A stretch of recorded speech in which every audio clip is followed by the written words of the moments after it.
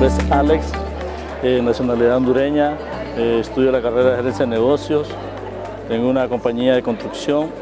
y he aplicado todos los conocimientos adquiridos en la UTH y me gustaría invitar a toda la comunidad latina a formar parte de nuestra universidad, eh, 100% garantizado en los conocimientos